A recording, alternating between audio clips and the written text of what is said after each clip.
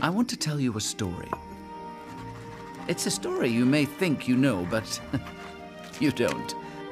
No, really. You see, I, Sebastian J. Cricket, was there. As a matter of fact, I lived, actually lived in the heart of the wooden boy.